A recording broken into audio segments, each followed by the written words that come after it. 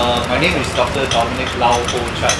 Uh, I always say that uh, doctor here is not a medical doctor. I'm a doctor in philosophy. That's why I was the uh, associate professor uh, in Universiti Teknologi Malaysia and UCSI, Muslim Universities. Uh, I born in 1967 and uh, my hometown is from Penang. And uh, this uh, uh, general elections, uh, team general elections, I will contest in P115 Batu. The main issues in uh, Batu is on the securities. A lot of people worried about the securities, the crime rate is very high, and that's why this is uh, one of the people's concerns uh, in uh, Batu.